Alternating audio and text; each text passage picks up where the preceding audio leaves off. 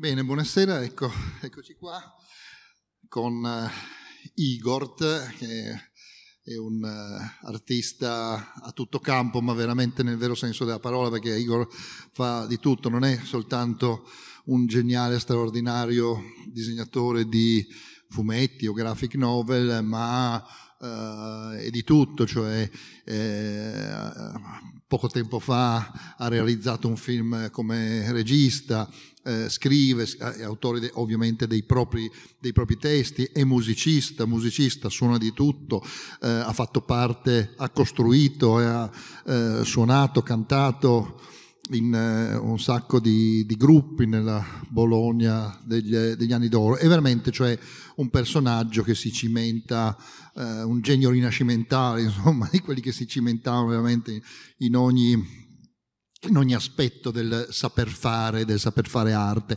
Ma questa sera siamo qua eh, concentrati su questo libro che è appena uscito. Beh, tra l'altro è anche editore, cioè quindi è anche eh, imprenditore perché ha eh, ha questa casa editrice, si chiama Oblomov, in omaggio a un grandissimo personaggio della letteratura russa eh, di Goncharov. Eh, il, il, pigro per eccellenza, o perlomeno quello che non riusciva a prendere mai una decisione per eccellenza, no? l'oblomovismo. Oblomov. Eh, eh, comunque siamo qua appunto per parlare di questo bellissimo uh, graphic eh, novel, fumetto, chiamatelo come volete, uscito per appunto i suoi tipi che si intitola eh, Brillo, la guerra degli ovetti. Ecco che cos'è Brillo? Brillo è un personaggio, un personaggio eh, molto particolare, ecco qua sulla copertina, beh, poi vedo che avete dei libri, quindi insomma sapete di che cosa eh, si tratta, un personaggio che è nato Uh, più o meno negli anni 90 uh, per una rivista leggendaria che era Linus, che tra l'altro, ecco, tra le tante cose, lui stesso adesso ha eh, rilevato, eh, grazie anche al genio di un personaggio leggendario che era Oreste del Buono, DB, insomma, no? che questo grande mago del fumetto, ma non solo, cioè è stato veramente l'artefice di, di Linus, ma di tante altre cose. Io poi eh, ODB lo conoscevo personalmente perché collaborava alla stampa, insomma aveva la rubrica delle lettere sulla stampa, era leggendario perché dormiva poche ore per due notte, ore. Sì, due ore a notte. Due ore per notte, eccetera, eccetera. Comunque, Brillo che cos'è? Brillo è un, um, è un omaggio ai grandi fumetti ai grandi fumetti dell'epoca, dell'epoca d'oro, ma anche alla straordinaria satira eh, tedesca della Repubblica di Weimar, quindi quella satira eh, cattiva, corrosiva, che prendeva di mira il potere in tutte le sue forme e che veniva fuori dalla tragicissima esperienza della prima guerra mondiale, no? cioè dal primo grande massacro del, dell'era moderna. Quindi aveva, aveva, eh, dentro di sé, nel proprio DNA, ecco questa satira, l'attacco al potere e anche un'anima estremamente pacifista, cioè quindi l'attacco a quella grande follia che era, che era, la guerra, che era stata la guerra. E Brillo riflette su tutto questo, è un personaggio che si trova coinvolto in questa delirante guerra, ma come sono tutte le guerre, perché a un certo punto si fabbricano degli ovetti, gli ovetti con le sorprese che devono essere mandati ai vari stati eh, di questo mondo immaginario e il, quello che deve coordinare la produzione dei, degli ovetti si innamora, si innamora della, di una segretaria, cosa del genere, e eh, per amore eh, confonde, cioè perché si inciampa, perde la testa, nel vero senso della parola, confonde tutti i piani di produzione industriale e così queste sor- questi ovetti con sorprese vanno a finire negli stati sbagliati, questo scatena una guerra, cioè appunto è una follia, ma le guerre spesso partono da queste eh, follie. Ed è una riflessione quindi sulla follia della guerra, sul e anche un po' per chi non ha fatto la guerra ma ha fatto la naia, ne sono anche tante cose diciamo sulla cosa.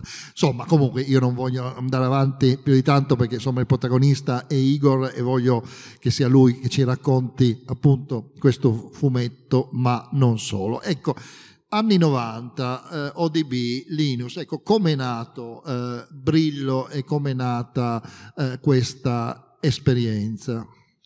Ma io ero Mm, allora, Oreste del Buono è sempre stato una specie di mm, grande esploratore della conoscenza. No? Io, per esempio, leggevo le sue recensioni dei film sulle colonne dell'Europeo che mio padre comprava, no? e lui, siccome era uno dei nostri, nel senso che era uno che fiancheggiava il mondo del fumetto, eccetera, mi incuriosiva molto come intellettuale. Quindi anche, per esempio, mi ricordo che lui, a proposito di Lina Wertmüller, che è morta da pochissimo, che lui le chiese scusa. Lui l'aveva sempre stroncata e a un certo punto, quando venne fuori Pasqualino Sette Bellezze, lui disse: Chiedo scusa, non avevo capito niente.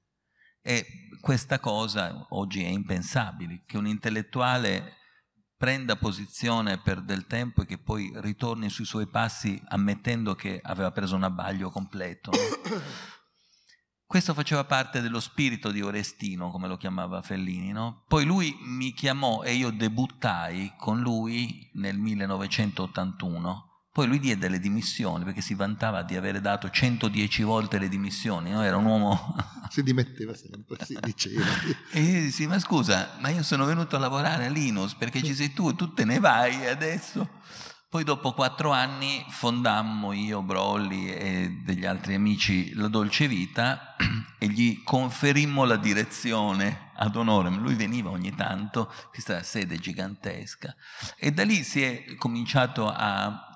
c'erano proprio delle grandi lezioni anche di giornalismo, se vuoi, eh, in diretta. No? Io gli raccontai, per esempio mi ricordo che c'era un hotel che era stato occupato negli anni, primi anni 80 e ogni stanza era diventata una, praticamente il luogo di una installazione artistica e quindi fare un giro per questo hotel era una specie di viaggio nell'immaginario contemporaneo americano. Era un hotel americano, no?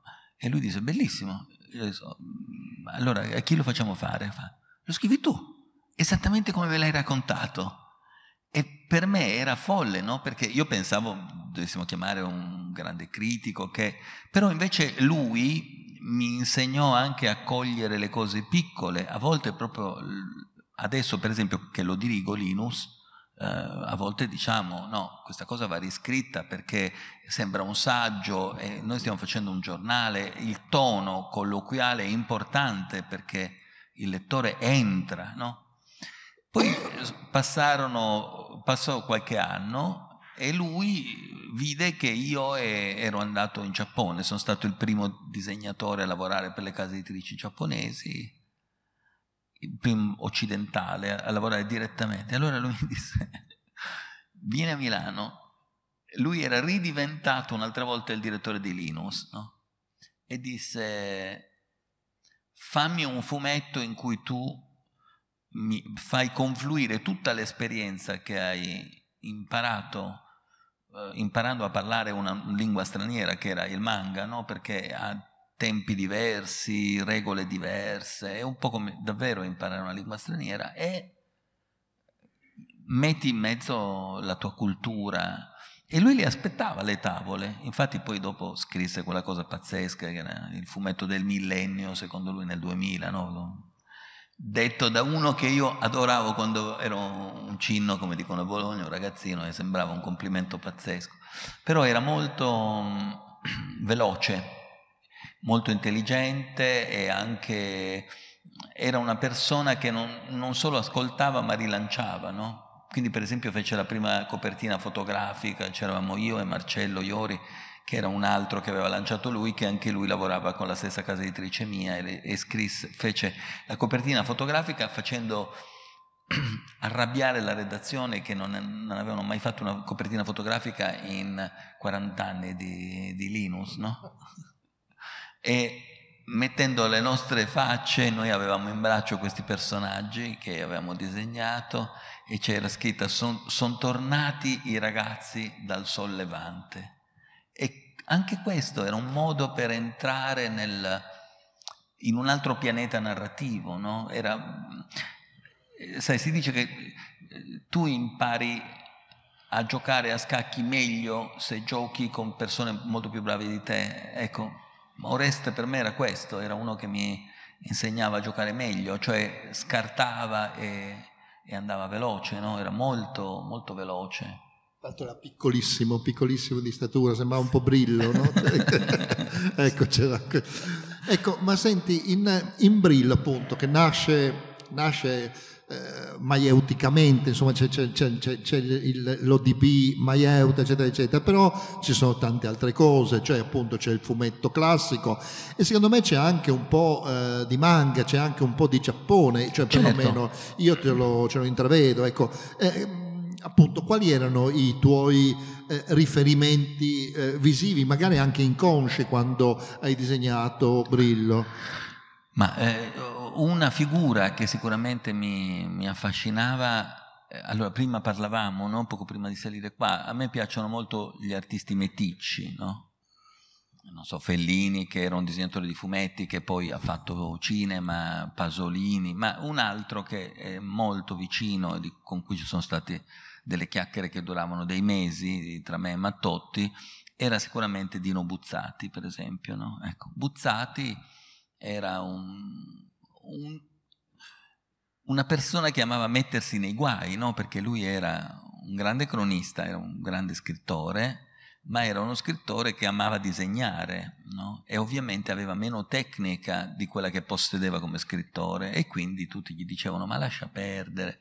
E invece secondo me lui è stato proprio un ponte con una specie di visione, di immaginazione. Infatti lì ci sono degli ex voto, lui rifaceva degli ex voto e io ho rifatto degli ex voto in omaggio a lui più che agli ex voto vera, veri che lui in qualche modo omaggiava e, e reinventava.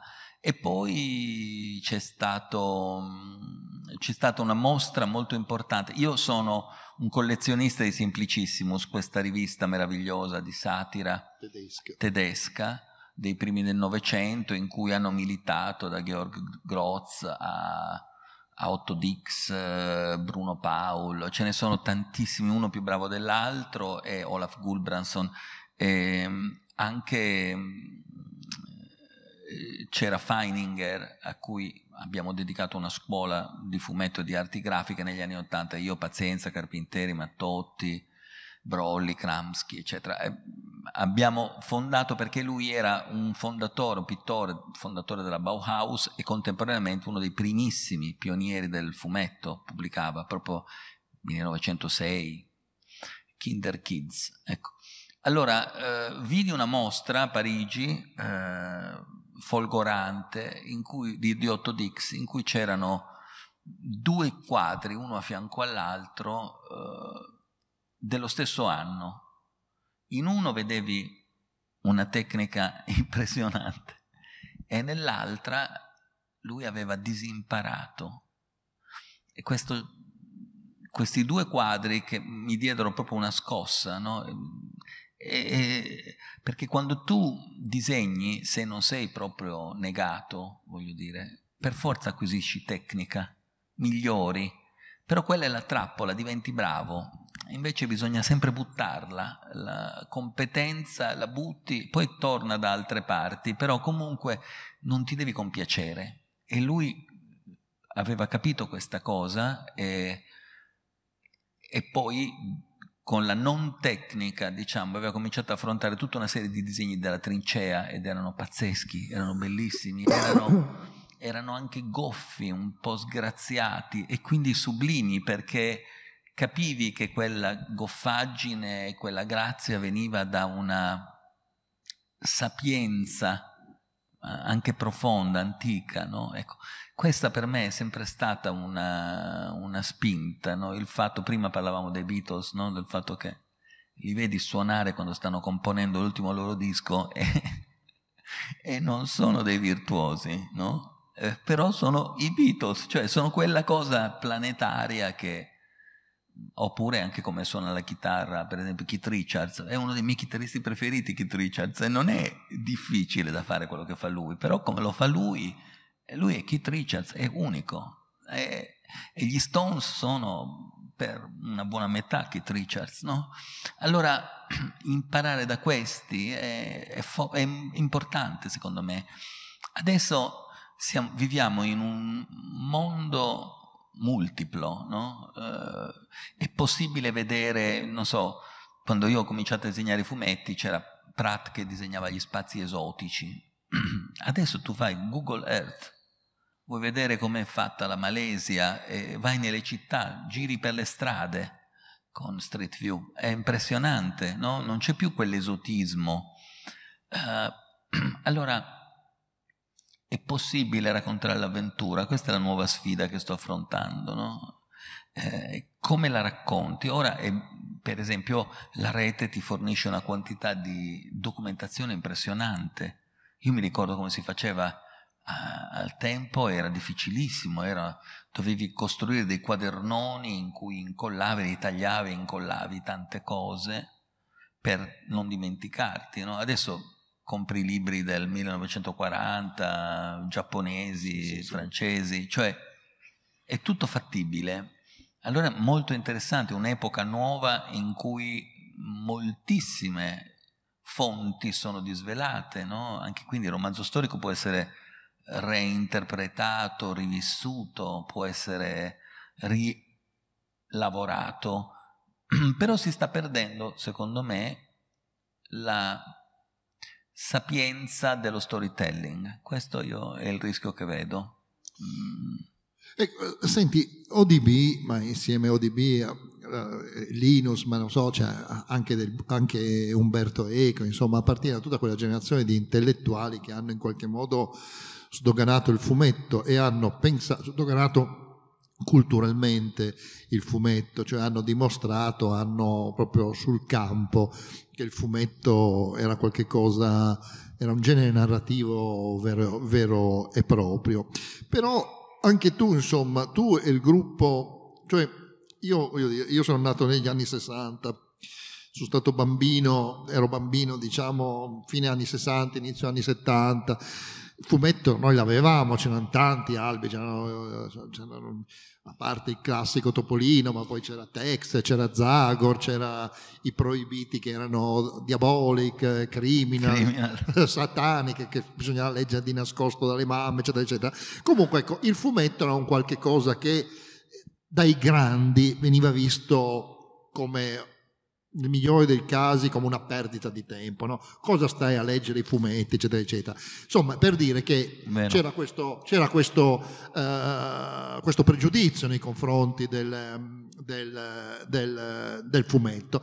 Invece tu insieme, appunto, citavi uh, Mattotti, poi Pazienza, insomma, nei, negli anni Ottanta, no? insomma, avete incominciato a fare questa operazione, cioè a dimostrare, primo, ad allargare i confini del fumetto cioè che si potevano raccontare tante altre storie rispetto a quelle della serialità del, dei ragazzini, eccetera, eccetera. E poi che il fumetto poteva essere il veicolo di un, eh, il veicolo proprio di un nuovo modo di, di raccontare, cioè una, una, nuova categoria della letterarietà. Ecco, racconta un po' questi, questa, questa vostra esperienza, questa rivoluzione culturale che voi avete effettuato negli anni Ottanta. E tra l'altro con uno degli epicentri fondamentali era Bologna di questa sì. rivoluzione, dove tu ti sei trasferito, insomma, che hai vissuto. Ecco. Allora, questa è un po' è una conversazione ricorrente tra me e Spiegelman. Ecco. eh, perché mio padre era un compositore, era una persona colta, molto severo, e lui guardava quando avevo sei anni mi, regalò, una scatola di colori a olio per distogliermi dal fumetto e poi quando vide che io facevo i fumetti con i colori a olio si arrese, disse vabbè basta, non ce la posso fare.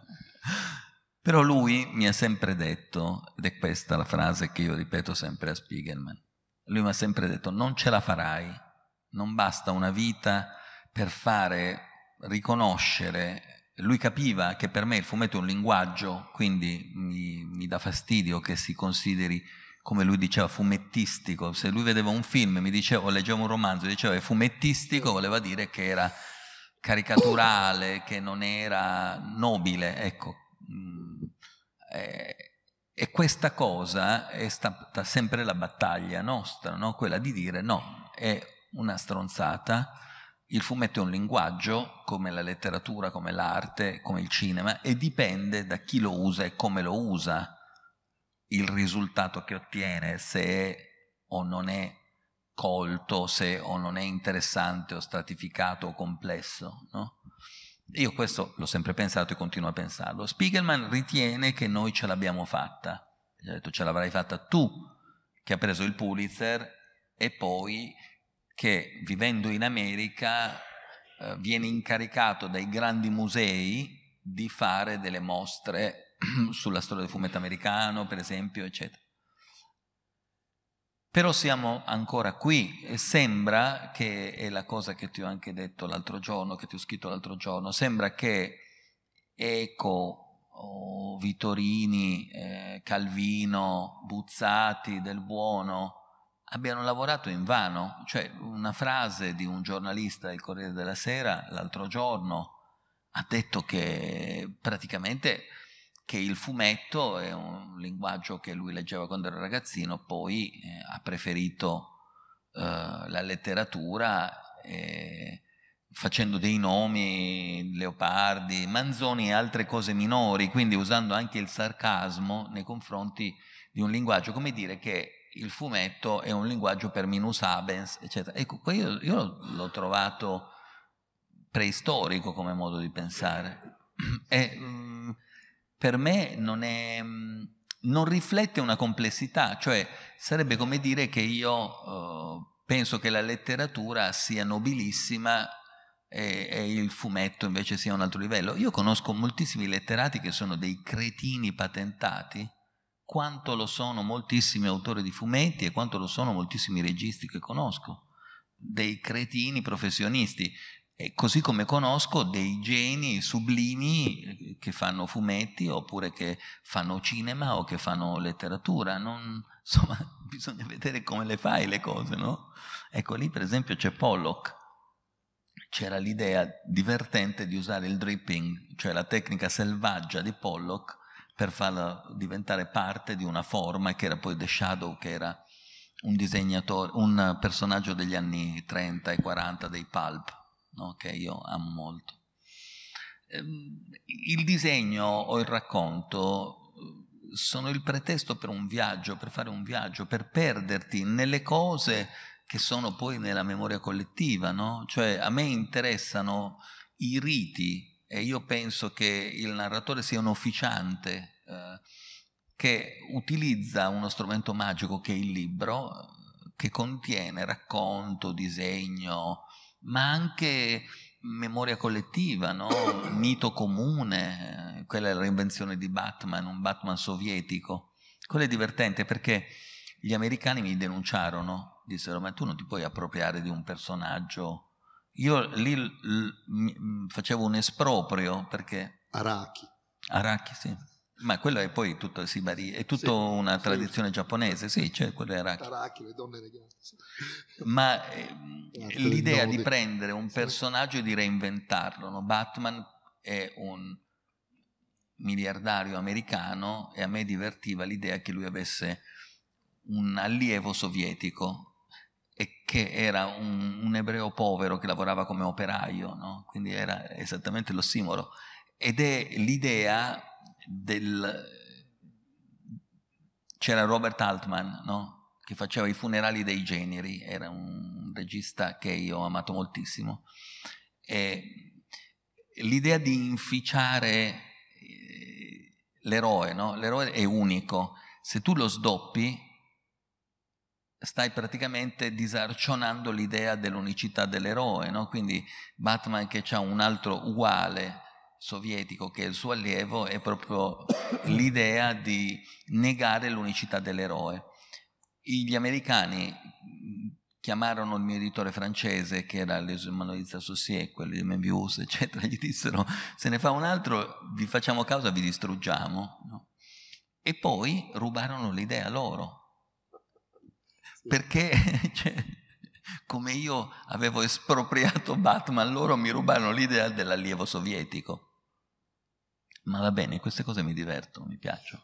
Ecco, ma senti, questa appunto, questa allegra rivoluzione partita dal basso, perché eravate dei ragazzi, eccetera, cioè, qual era il vostro, il vostro mondo, i vostri, i vostri obiettivi no? per allargare appunto i confini del fumetto? Perché non era neanche facile trovare, perché Ecco, un'altra cosa importante è che c'era il mito anche dell'autoproduzione, delle fanzine, delle cose, no? Anche lì, se noi pensiamo ad oggi, oggi chiunque può produrre di tutto con la sì. tecnologia. Allora invece non avevi l'accesso ai mezzi di produzione, di riproduzione, non era facile. Ecco. No, eh, eravamo dei morti di fame e allora facciamo una società e comprammo una macchina offset il povero Baldazzini, poverino, lui dovette imparare a usarla, perché noi dovevamo stampare, avevamo la macchina poi cos'è, la guardavamo. Quindi lui fece un corso da un tipografo per imparare a usarla e noi avevamo già, c'era una progettualità, no? Io mi ricordo che appunto eh, facevo lo schiavo, lavavo i camion in quel periodo e tutti i soldi che avevo li li misi per comprare una quota di questa macchina da stampa. E poi facemmo il pinguino Guadalupa che era un, un albo, cioè erano quattro albi di quattro autori racchiusi dentro una busta che veniva stampata e veniva venduto come una busta proprio formato sacchetto così, si apriva e dentro c'erano questi albi. Era già un'idea in cui si cominciava a lavorare sul concetto di che cos'era l'oggetto, la rivista, no? era una rivista che si poteva comporre. Questa cosa, questa curiosità poi ha attraversato tutta la mia vita perché quando io ho fatto la Coconino, per esempio, una delle prime riflessioni erano cos'è un libro? Un libro è un oggetto d'affezione, quindi non deve avere queste carte scintillanti che hanno, non so, i libri francesi, che sono delle carte patinate, lucide eh, non deve essere cartonato, rinunciamo a tutto questo, vedi che a me piacciono le bicromie, questi colori anche un po' polverosi, no? Allora rinunciavamo al colore, che era la tradizione colta e ricca dell'Europa, per prendere le bicromie, cioè bianco-nero e un colore, no? E questo bianco-nero e un colore era un concetto delle avanguardie, no? delle avanguardie innamorate della tipografia, quindi i Dada, i, i surrealisti, i futuristi, i costruttivisti, l'idea di prendere, e quindi poi le carte, le carte opache, ecco, io sono un rompipalle in editoria perché faccio i libri come secondo me devono essere fatti i libri. Io vado in tipografia, per me, così come quando ero piccolo il mio tempio era l'edicola, no? la tipografia è casa mia. Io vado lì quando vado in Giappone e prendo delle carte che sono, non so, possono essere le carte dei dolci, io compro delle cose perché sento il tatto e poi le porto. Il mio tipografo scappa quando mi vede arrivare con queste cose perché capisce che poi mi deve trovare quelle carte lì. Lui lo sa già, quando mi vede arrivare con scatole strane, lui proprio si dilegua per la tipografia, lo devo inseguire perché gli devo dire eh, mi devi trovare Claudio, mi devi trovare questa carta e lui eh, per esempio la copertina dei quaderni giapponesi dell'edizione deluxe è una carta eh, giapponese. Eh, e lo stesso, quelle carte lì avoriate, no? Uh, adesso ho fatto un libro con quel disegnatore lì che si chiama Andrea Serio, che è un talento meraviglioso, e, e stiamo parlando del colore della carta, no? di come perché poi il, il, colore della carta ha già un senso specifico, trasmette già un'idea, anche in maniera subliminale. Se tu lavori con la nostalgia, con l'idea, per me il libro deve essere un oggetto caldo, non un oggetto che se ti cade su un piede ti fa un buco, no? come i cartonati francesi, che devo dire sto rivalutando ultimamente, ma sono passati 30 anni, 40 anni, no? è da 43 anni che io faccio editoria. Però questo era per dire, sono saltato da eh, subito nel 1980, fu un periodo in cui Mattotti eh, non pubblicava ancora facilmente. Mi ricordo che al, a Linus, dove non c'era più del buono, c'era Fulvia Serra, dicevano Mattotti con l'ascia non, pa- non passa, deve imparare a usare il fioretto. Lui era un espressionista e questa cosa veniva letta come un, una brutalità, una cosa a me sembrava folle, ma Totti si capiva che aveva già talento, eh, era già pronto, era un grande talento. E, e, poi adesso è diventato uno degli illustratori più famosi del mondo, è, è indiscutibile il talento di Lorenzo, però appunto all'epoca eh, io, lui, Carpinteri, che poi fu mio compagno di classe quando avevamo dieci anni, noi abbiamo cominciato a disegnare insieme proprio e da allora io continuo a frequentarlo, no? Sono 53 anni che lo frequento, e parlavamo sino alle 4 del mattino su cosa fare, dove andare. Era, eh, poi eravamo, avevamo 20 anni e quindi eravamo anche degli stronzetti, cioè eh, noi pensavamo di aver inventato noi più o meno il fumetto, cioè nel senso il dialogo era ce n'è un altro bravo, perché eravamo soltanto io, io e Carpinteri secondo noi quelli bravi, no? C'era pazienza e poi a un certo punto lui mi disse nel 78 ne ho trovato un altro. Era Mattotti. Io andai, eravamo a Lucca, presi un manifesto suo grande che c'era, lo girai e gli dissi fammi un disegno, volevo vedere se sapeva disegnare veramente. e lui fece un disegno bellissimo. Dissi ok, da allora siamo rimasti amici, no? Poi dopo noi parlavamo continuamente cosa fare, perché? Perché nella musica c'era gente che apriva i mondi e, e quindi c'era la musica concreta, nella musica colta, voglio, voglio dire, la dodecafonia, Schoenberg, tutti quanti. Noi, noi ascoltavamo anche quella roba lì e poi c'era Ino, Ino stava, prendeva teorie di Eric Satie, le applicava, la musica come tappezzeria, abbassare il volume, l'impercettibilità. Allora, music for Ambience, poi c'è John Hassel, Fourth World, no? la musica del quarto mondo, musica possibile, ipotesi di sviluppo. Allora questa roba qua ti apre la testa, senza contare poi quello che arrivò al punk, post-punk, new wave, eccetera. No? E lì facemmo subito, nel 1980, un numero, io, Carpentiere e Mattotti, che aveva proprio nell'editoriale il manifesto di aprire le finestre agli spifferi, alle correnti altre. E quindi per noi qualunque cosa. Io compravo libri di fotografia, libri di letteratura ovviamente, no? era pop americani, Vonnegut, Bartlemy, eh, o, o appunto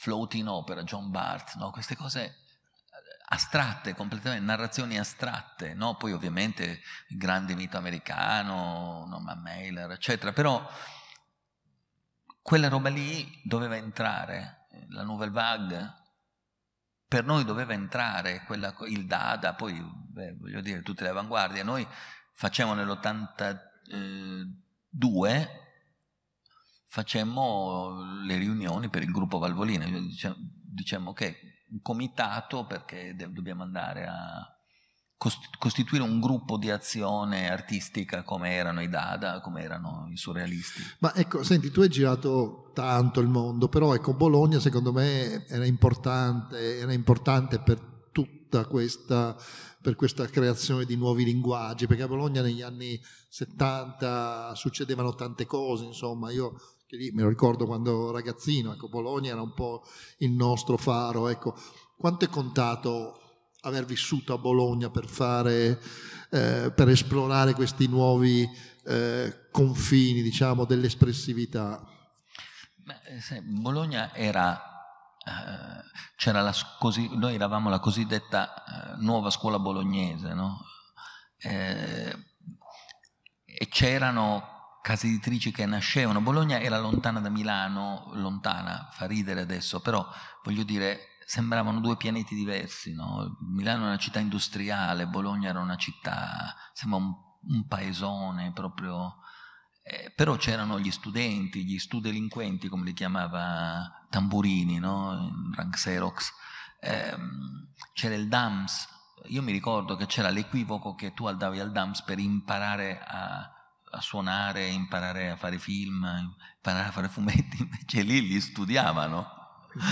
Non, non, imparavi quelle cose, però conoscevi altre persone che come te volevano fare quelle cose, quindi poi c'era un frequentarsi, un chiacchierare, un, E Bologna è stata importantissima, era una città, è, è sempre stata, insomma, primi anni 80, fine 70, primi 80 c'erano le case discografiche, c'era una persona pazzesca, Oderso Rubini, che era braianino italiano, lui produceva tutti i gruppi musicali, questo prodotto anche John Cage, mica eh, delle cose così, e incoraggiava.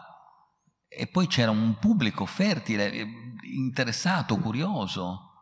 Uh, cioè, nel 1980 suonarono i Clash gratis in Piazza Maggiore, no? I Clash erano del 77, loro scoppiarono nel 77 con il punk e dopo tre anni erano a Bologna a suonare gratis in piazza. Era una città in cui le cose avvenivano in tempo reale e questa cosa era pazzesca. Poi appunto Brianino produsse No New York, la No Wave, i nichilisti americani, il rock and roll, questi arrivarono a Bologna. Arthur Lindsay produsse, uno di questi, produsse eh, gli Hi-Fi Bros, che erano un gruppo di Bologna eh, che facevano delle canzoni isteriche, di Sinatra versione isterica, tutti in smoking, bellissimi, molto... Questa roba ti fulminava, no? Tu dicevi di più, ok? E noi eravamo la parte visiva di questo movimento uh, diffuso, aperto, era molto, molto bello perché era tutto possibile e devi pensare che pubblicavamo per una rivista che era Alter Alter o Frigidaire negli stessi anni, che avevamo vent'anni praticamente, e, eh, e, queste riviste vendevano da 20 a 40 mila copie ogni mese. E quindi queste visioni fuori di testa che, che ti venivano, poi venivano diffuse, c'erano le copertine, tappezzavi le città, insomma era una roba molto impressionante. All'epoca i libri li facevano soltanto pochissimi, li faceva Crepax, Pratt, eh, era fare il libro. Io ho fatto il primo libro dopo cinque anni che pubblicavo ed ero anche conosciuto. Era... Adesso se io penso che ora puoi fare i libri è una specie di sogno, una roba strana, no? Sto facendo un libro, lì all'epoca tu pubblicavi su rivista, facevi delle storie sulla rivista. Sì, molte anche ciclostilate o cose del genere. Sì, c'era tutto. Nel, nel, poi il punk portò questa facilità di produrre cose per cui era importante che le cose esistessero. Questo è il principio base per fare le rivoluzioni, farle esistere, cioè non è un'idea che non diventa un oggetto, non è niente, evapora. Un'idea che diventa un libro, che diventa una storia, che diventa una cosa che può essere letta, consultata, eh, diventa una cosa che ti entra nella testa. Io mi ricordo Munoz e Sampaio, loro fecero una storia che si chiamava Storie arrugginite, la storia di Moses Mann, un pugile che decade, no? storie arrugginite perché loro dicevano questa è sempre la stessa storia del, del pugile che decade, eccetera, però te la raccontavano come non l'avevi mai letta prima. Io la lessi, ero in classe al DAMS a una lezione la lessi mentre assistevo a questa lezione e dissi che cosa ci fai qua? Ma... Perché queste cose ti cambiano la vita, no? Mm. Cioè i libri, Vonnegut è uno di quelli che mi ha cambiato la vita. Io non potrei concepire la mia esistenza senza i libri di Kurt Vonnegut. Ma ecco, senti, questa qui era la libertà, la libertà creatrice, appunto, la Bologna negli anni 70, quella della fantasia al potere, eccetera, eccetera. Dall'altra parte, e tu ne parli anche in quaderni giapponesi, ecco, l'esperienza del Giappone, che invece lì era la disciplina tayloristica, dove dovevi produrre un tanto di tavole al giorno, cioè un'ossessione, no? della, ecco. Sì. Eh, che cosa ti ha insegnato invece il Giappone? La disciplina? No. Beh, la disciplina no. è importante perché sì. se non hai la disciplina non riesci a impararle queste cose, no? come dicono gli Sparks eh, in una canzone Pratics, vuoi suonare la Carnegie Hall, Pratics, ogni giorno devi praticare, no? devi... Eh, loro sono degli isolani, no? E io sono un isolano. Io lo so cosa vuol dire avere il mare intorno, sentirlo questo mare e, e volerlo superare, perché sennò ti, ti inghiotte, no? Quindi io lì ho scoperto quando sono andato lì, la mia fidanzata era di Bologna, lei non le capiva queste cose, io ho detto, mm, ho capito, casa, sono piccoletti, molto cazzuti, aggressivi. D'altronde tu pensi, guardi, il Giappone è un arcipelago, una cacatina di Mosca rispetto alla Cina, questi hanno invaso la Cina, invaso la Russia, sono dei guerrafondai pazzeschi, loro sono, credono di essere le tigri dell'Asia, no? Però hanno un senso della bellezza che, che a me mi, mi, butta per terra quando io vedo quelle cose, sono degli scorci che ti feriscono proprio mentre stai camminando per Tokyo, improvvisamente sono delle cose che ti colpiscono, che loro hanno un culto del, della bellezza e anche del sacrificio eh, mostruoso, molto, molto elevato e molto che insegna molto tuttora lavorare con loro è stato il, il supplizio più,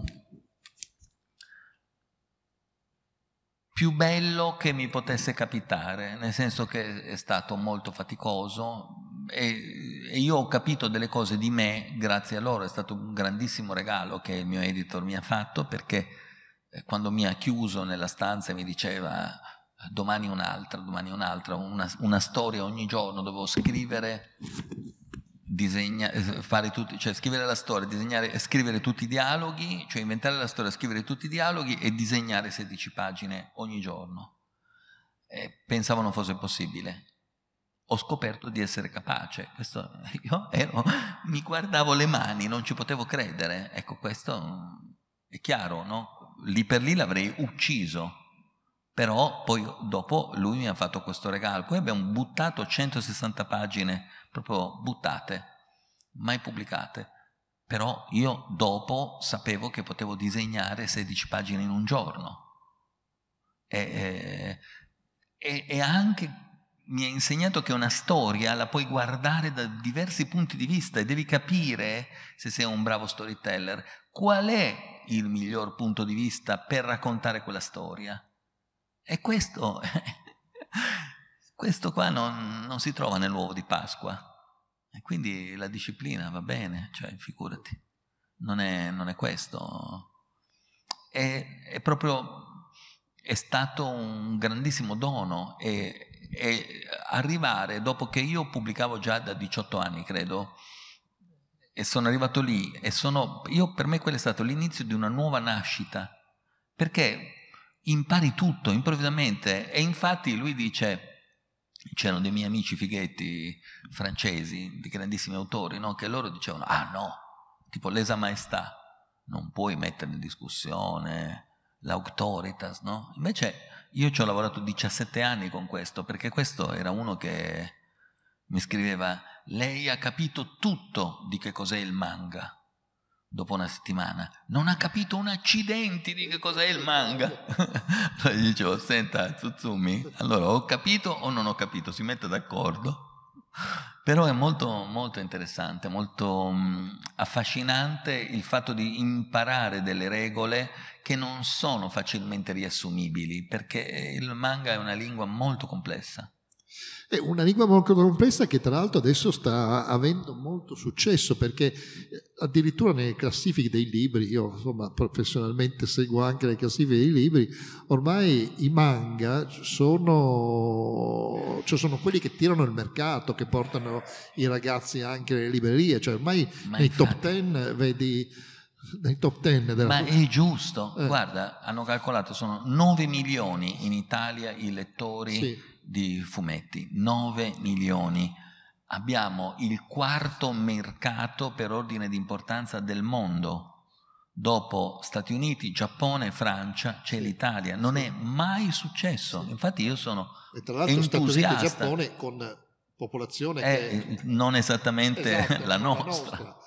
Stiamo parlando eh, di cinque volte eh, la nostra, sì. Ma eh, cioè lì hai una dimensione sì. ehm, anche molto interessante. Per esempio, il fumetto, eh, la tradizione eh, francese è una tradizione colta sì. da libreria, no? Sì. La nostra è una tradizione da edicola storicamente, come in America.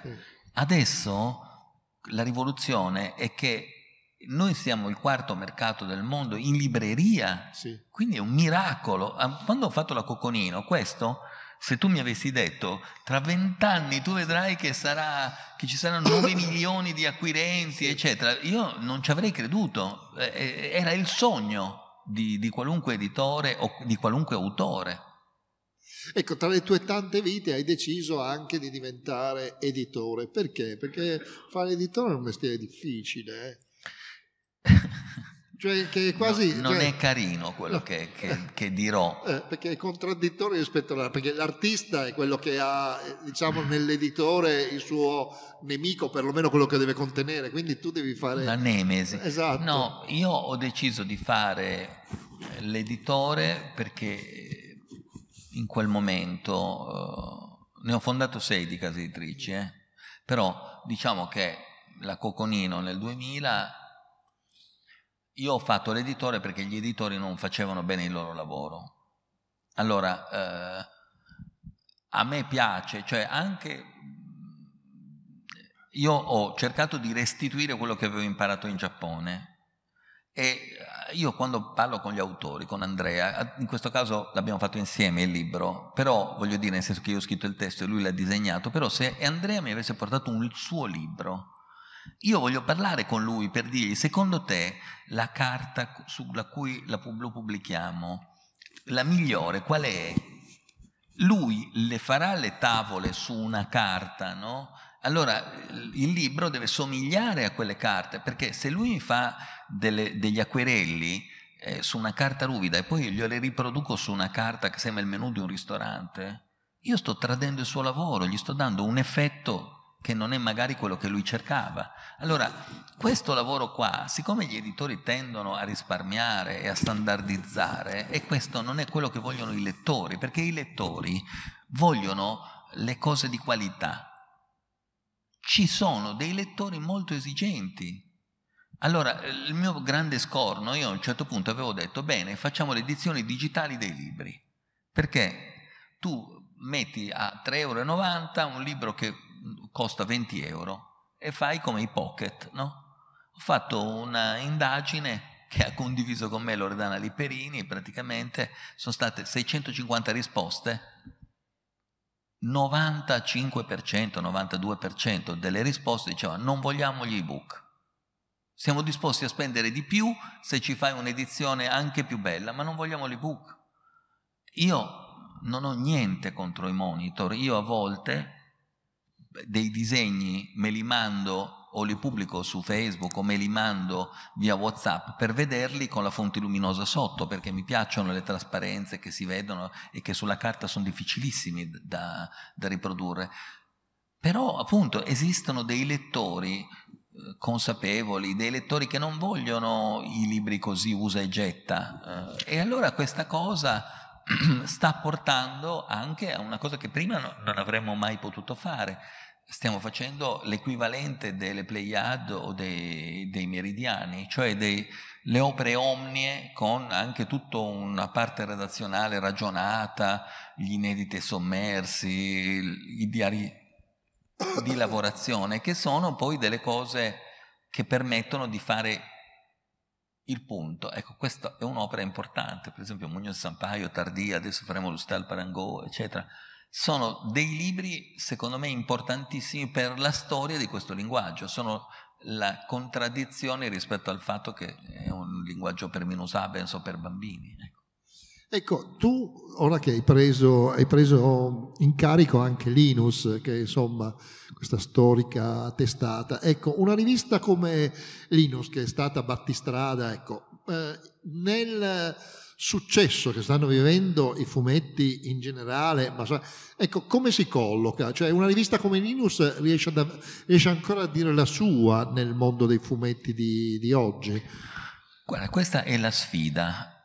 sta in piedi, funziona. Cioè, la mia missione è quella, eh, è, la, è, la, missione folle di rinnovarne il pubblico, no? perché per età, voglio dire, anagrafica, molti lettori sono dai 60 in su, e magari a 70 anni o a 80 anni non ti metti a comprare le riviste di fumetti o non hai più voglia di leggere, non so. Eh, a me importa comunicare anche con un, un audience giovane, una buona parte dei lettori hanno sui 30 anni, sono studenti universitari o, o studenti universitari diciamo un po' attardati. Eh, e questa cosa poi eh, mi consente anche di eh, sperimentare, cioè di parlare, pubblicare con eh, segni nuovi, segni diversi. Eh, adesso abbiamo capito che rispetto per esempio a certi concetti, se tu vuoi parlare, non so, della fluidità sessuale, no? gender fluid. È più facile che metta, non so, Lurid o David Bowie, cioè un'icona che rappresenti anche quel tipo di provocazioni che, per esempio, a me eh, i maneskin sono simpatici, no? E quando io li ho visti vestiti come si vestiva Bowie, ho, ho detto, ma è una cosa ironica o, o di richiamo nostalgico, perché adesso non ce n'è più bisogno.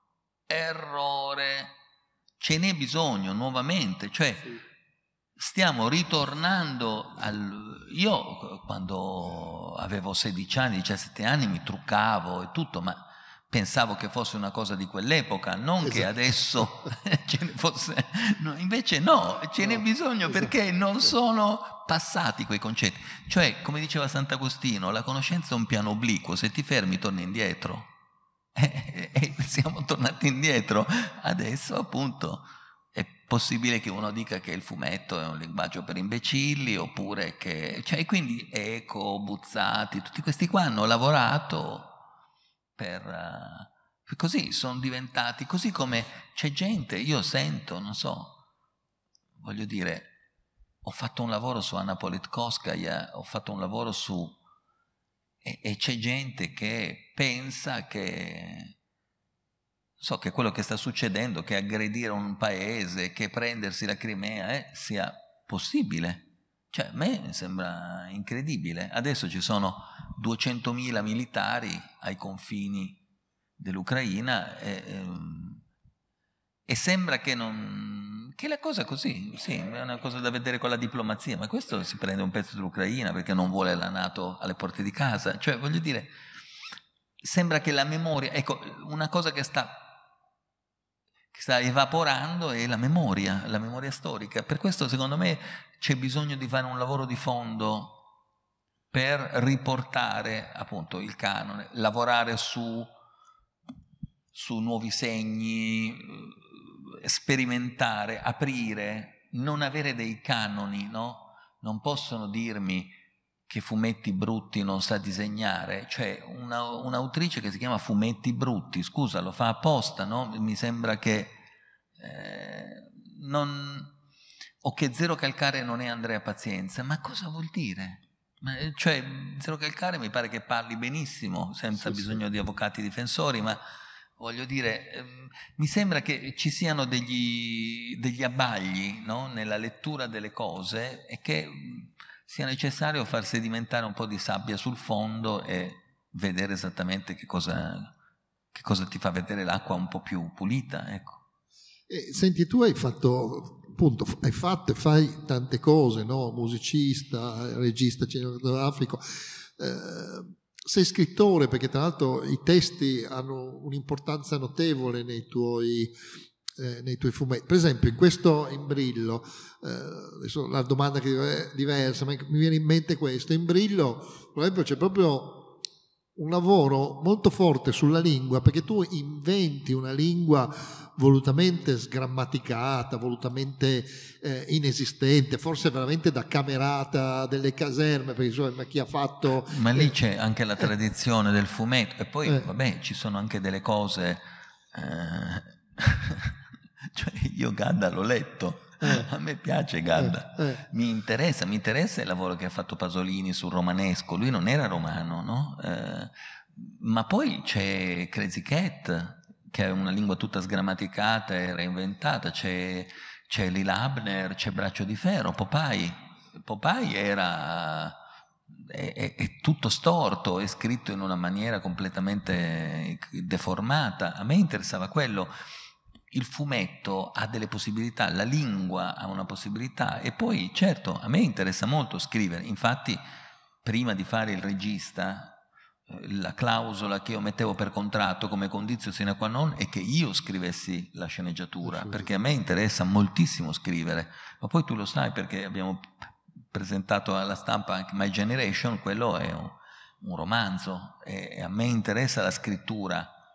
Eh, mi interessa perché è un'altra porta. Eh, di evocazione altra, no? e, e, poi perché i miei amici scrittori, anche celati, mi ricordo che parlava, ma mentre mangiavamo favelesse a, a, Parigi, parlavamo appunto di Calvino, loro stavano facendo Alibaba, era una rivista come Linus, no? che non è mai uscita, ma hanno dei numeri montati loro, no? E, e lui era molto interessato allo sguardo, a come a come uno guarda quando, quando scrive o quando disegna. No? Infatti lui era amico anche di Ghirri, no? gli interessava molto Ghirri, fo- il fotografo, perché lui voleva capire la percezione, perché lui viene dalla parola e molti scrittori vengono dalla parola e sono non vedenti, diciamo, se mi passate la metafora rozza. Però io quando scrivo vedo quello che scrivo, e sono convinto che, che Celati non vede quello che scrive nello stesso modo in cui lo vedo io. È una forma mentis. E forse il Giappone è anche questo, no? Perché il Giappone è un paese in, in cui gli ideogrammi sono una scrittura che è anche disegno. Hito, eh, la Y rovesciata, sono le gambe dell'uomo. Hito vuol dire uomo. Hara è un quadrato con una croce dentro. Hara è un campo, è un campo. Allora, questa cosa lì coincidono, no? infatti kakemaskaku, eh, disegnare e scrivere sono lo stesso verbo, mentre da noi disegnare e disegnare e scrivere e scrivere, perché casa è una convenzione che la scrittura casa sia quella cosa lì col tetto, no? Loro disegnano il tetto, è la casa. E questo è... E quindi forse anche il Giappone mi è familiare anche per questo, è una cultura nel, in cui convivono degli aspetti che per me sono la stessa cosa. Poi tu dici, eh, io suono, disegno, scrivo, ma sono la stessa cosa. Cioè, è dopo che è entrata la specializzazione, no? quello che serve nella scrittura, nel, nel disegno e, e, nella musica è il ritmo e la profondità. È quello che cercano tutti, no? Il ritmo e la profondità una sinfonia è ritmo e poi profondità, e sono suoni gravi, suoni, suoni più, più acuti. No? Quando tu fai un disco impari che esiste uno spettro sonoro e devi occupare il range diciamo più ampio possibile no? è la stessa cosa che io insegnavo quando si faceva un disegno no? cioè devi mettere a fuoco capire qual è la parte che vuoi che si veda prima in un disegno e poi un'altra dietro che non devi dettagliare troppo, se no si mangia l'attenzione del primo piano e non vedi più il primo piano, no? e, e, poi il ritmo visivo, zang tum tum. No? Sì.